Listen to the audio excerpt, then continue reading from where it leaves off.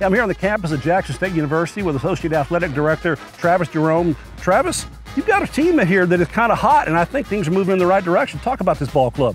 Yeah, you know, we were picked to finish third in the division, and we, we kind of welcomed it with open arms. Coach Taylor is, is all about being very quiet and very stealthy in the way we move.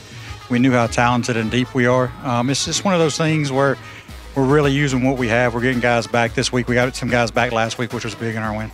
So, Travis, you know you have a coach that bleeds blue here at Jackson State. Talk about uh, TC Taylor and what it means to him to be this head coach, and secondly, how does he instruct this football team?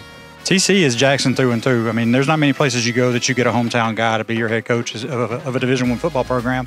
You played here, he's coached here, he, he bleeds blue. Um, but for him to be able to put everything he has behind it, I mean, he, he truly believes Jackson State and truly believes every day 24 7 in Jackson State and Jackson State football. And he'll tell you, being in that office is not a luxury. There's pressures that come with it, but he enjoys it because of where he's at. Talk about some of the offensive guys here who are exciting early on in this season.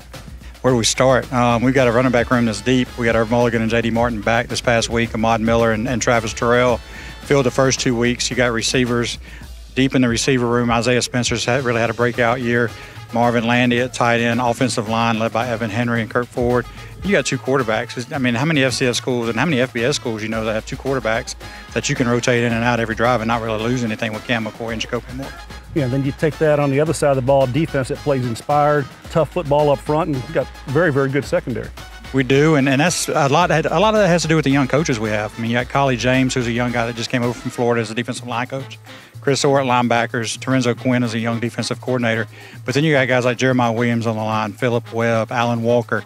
Joshua Nobles had a breakout game against Southern. Our linebackers was a big question with Ashton Taylor and Reed Pulliam.